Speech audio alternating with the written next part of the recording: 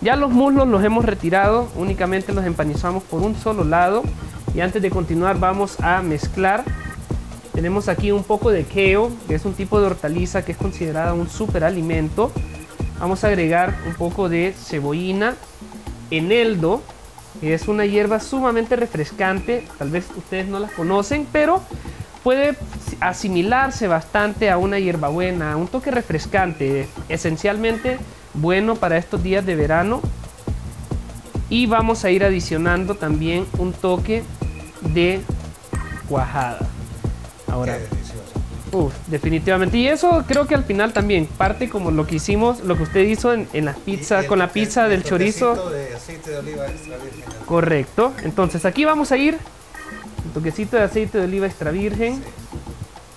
Vamos a agregar tres tipos de cítricos, pero cada uno le va a aportar una cosa diferente. Vamos, vinagre de vino tinto, un poco de naranja exprimida.